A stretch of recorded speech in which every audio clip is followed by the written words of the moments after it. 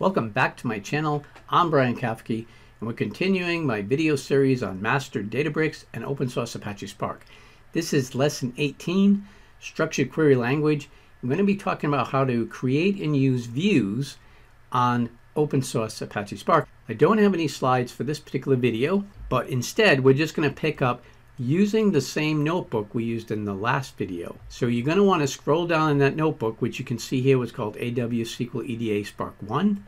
You're going to want to scroll down until you see where the video 1 ended and video 2 picks up. There'll be a link in the description to get you to this notebook, but just remember that the notebook actually contains code from two videos, the prior video and this one. First thing we want to do is create a view. The reason views are useful is twofold. One, they save us from having to rewrite complicated queries over and over again. They can save us from doing a lot of joins or calculating columns or any number of things. They can also reduce the number of columns that we want to take from a table, which can improve performance significantly. The other thing they do, as opposed to persisted data, is that they always go back to their source. For instance, in this view, we can see v customer, we're going to be going back to dim customer. So the advantage to this is that if the underlying table dim customer gets updated with new information, the view will always reflect that. A view is really just a named query that we can treat just as if it were a table. So it's a very kind of strange thing, but it's a brilliant idea that they came up with in relational databases so that we can have uh, dynamic data underneath the view that's always going to be current. And we don't have to keep extracting it if you kept extracting copies of the data each time to, you know, maybe a thousand different places with different variations on the, you know, format and what you want, it would be extremely difficult to keep everything in sync. And you would never know if you have the current data. By being able to put a query on top of dim customer, and you know dim customer is always up to date, we'll assume, then you know you're going to get the latest, greatest data. So imagine we want to create, we can say create or replace, which means if it exists, it will replace it a view called vCustomer. The idea of this view is we want to reduce the number of columns that we're going to pull to save us some resources because a lot of these columns are not terribly interested. We're mostly interested in the demographic type of data to help us understand our sales. We also want to change some names like this where we have English occupation and just call it occupation because we're only going to be looking at the English language data columns. And finally, we're going to calculate the person's age because that's more useful than knowing their birth date. But to get to the age, we'll take their birth date, subtract it from the current date using the date diff function, divide that by 365 to get that in years, and then cast the entire thing to an int, and that gives us age. So you can see what we've done here is we're creating a simplified view of the customer data that not only should perform better, but gives us some extra added value. Now I've, I've run this already. I can run it here just by clicking that arrow, and that runs it and creates my view. And I've already run this cell. You can see what we have here, the gender, yearly income, etc. You can see that we indeed do have the age calculated for us, which is kind of nice. So we can use this view whenever we want to just get that kind of information, the subset of data we need and the age calculated. Let's get a little more complicated, a little more advanced. We're going to create a view called V Sales Info that contains the following. The sales amount from Factor Internet Sales, all the columns from T product info, which we created earlier. It says view created earlier. Actually, it's now a table, right? T product info. We want to take dim customer education, and from dim customer, we want to get their gender, also yearly income and salary. So we're creating kind of a combination sales information with demographics from customer, etc., to give us a better handle so we can do one-stop analysis without constantly going back and running queries and things like that to get the data. So we can use a view that will make it easier for us to do our analysis. We're also going to take from dim customer, uh, if the customer has any children, there's a column called number of children at home. So we're going to just say if it's greater than zero, then make it a yes, otherwise n. Because we'd rather just say, do they have children or not? We're not really interested in how many for our particular analysis. And we're renaming as yearly income, I think I pointed out as salary. And finally, we've got uh, get the homeowner flag. We're just going to change that to homeowner. And we're going to take the age and turn the age into an age band, right? Because age band is actually a little more useful. So the idea here is that when the age is less than 18, then we're going to say it's a minor. And when they're between 19 and 29, young. Uh, then we'll go 30 to 39, middle. Now this case statement, by the way, is a really powerful statement that SQL has and Spark supports. Okay, so let's take a look at our view. Again, we're going to be creating a view V sales info. And we've got all these columns are pulling in.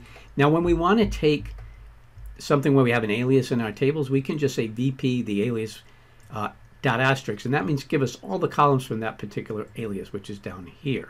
So we're going to get all the columns from T product info, which is a table we created in the last video. All right, so let's take a look again. We got all that. Here's our case statement. Number of children home. If it's great, if it is greater than zero, then they're going to get a Y here. Otherwise, an N. And we're going to just return that as has children. Uh, house owner flag is going to come back as homeowner. And now we've got our case age thing that we talked about. It's going to break it into bands, minor, young, middle, late middle, other. We're taking uh, education, number of cars owned, etc. English month name, we're just going to call month, month number of year, and calendar year. So we're taking all these things. We're going to be getting some of the data from Fact Internet Sales. We're going to take data from vCustomer, joining on the customer key. We're going to get our product information from T Product Info, joining on the product key. And we're going to get some of the data information from here. We're getting the order date and due date from the sales table and the sales amount. So those are probably the big things we're interested in seeing. We can run that. Now that we have this view, V sales info, we might want to check and how many complete years of information do we have? Very often, you know, the data has to start somewhere and it ends somewhere else. So it, hopefully it goes up to the current date, but it may have started anywhere and we may not have loaded the data up to the current date. So what we're going to do is create a common table expression. I prefix those with CTE underscore here check months. And what I'm going to do in this common table expression, common table expression name as, and then the query. Common table expression is very similar to a view, except it's temporary. It's all part of one SQL statement, and when that SQL uh, statement's been executed, it disappears. What we're going to do here is get the fiscal year, the month number of year, and we're going to do a count how many sales. We're going to do that on the V sales info table that we have, the one we just created, which is a view. And then we're going to group by fiscal year, month number of year, and order by fiscal year, month number of year. Then what we're going to do is use that CTE just like it were a table because it's it will run this query and return this just like it were a view. And we're going to run a query on that, which is going to count by fiscal year how many rows do we have. Now remember, because we have this by month number of year, what we're really counting is how many months of data do we have. In 2011, we only have seven months. 2012, we have 12 months, and then again in 2013, only seven. It looks like the only full year of data we have is 2012. If you're trying to do predictive modeling and things like that on the data, or trying to really get a sense of patterns, you really only have one full year of data that you can work with here. Let's do a query using V sales info again. This time I'm just going to do a very basic query, and I've already run it, so I'll show you that, but we want to get the education category and the sales amount as total sales. But we don't want all the decimal places and things It's kind of ugly, so we're going to say sum sales amount.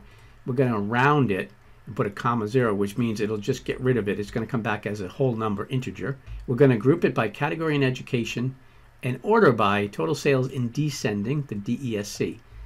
And if we look down, we can see now we can tell that our best selling is at the top. So the highest value comes up as people with bachelor's degree buying bikes, that's the highest total sales. Then we have partial college bikes, total sales, and then we have graduate degree. So we're getting a sense just from this of what level of education do our customers have. We're also getting a sense of what categories do they tend to buy. This next query was actually inspired by the Databricks notebook specifically. I wanted to use the, the visualization that they have built into it, which does the either US map or country map or global map, which is kind of cool. The problem I had was that the dim sales territory table did not have ISO standard codes.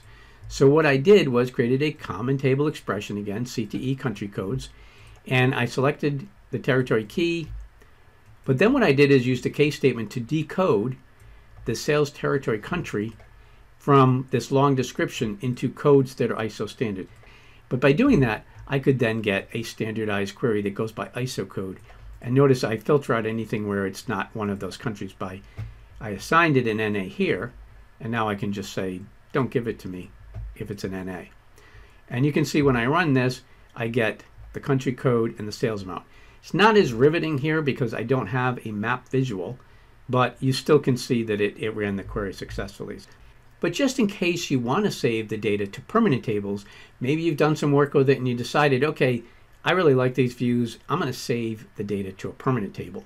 You might decide to drop the table later, but keep the view around so you can regenerate it. So here what we're going to do is drop the table if it exists, and then we can create the table as, and then just select asterisk from vCustomer.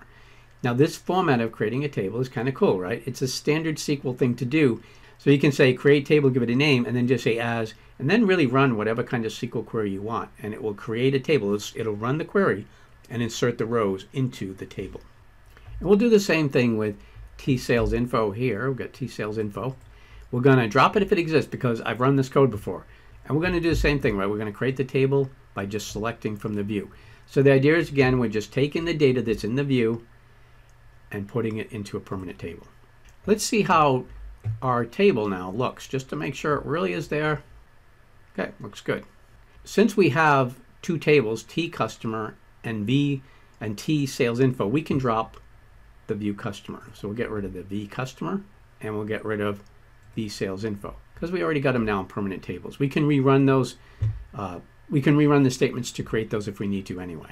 That covers our demonstration, but you're not getting off that easy.